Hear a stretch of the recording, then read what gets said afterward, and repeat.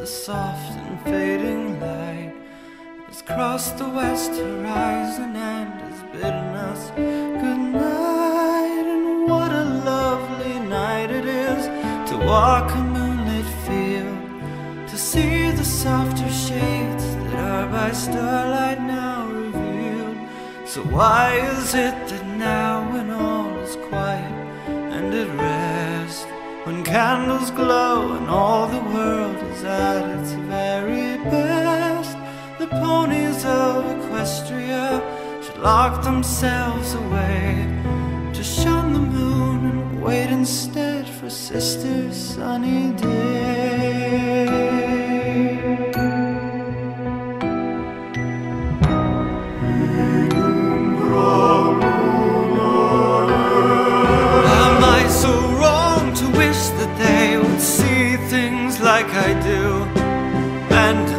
So wrong to think that they might love me too? Why shouldn't they adore me? Is it not within my right? I'll not be overshadowed, mine is not the lesser light. I've waited long enough now for them all to come around, and though the sun may plead and threaten, the moon will stand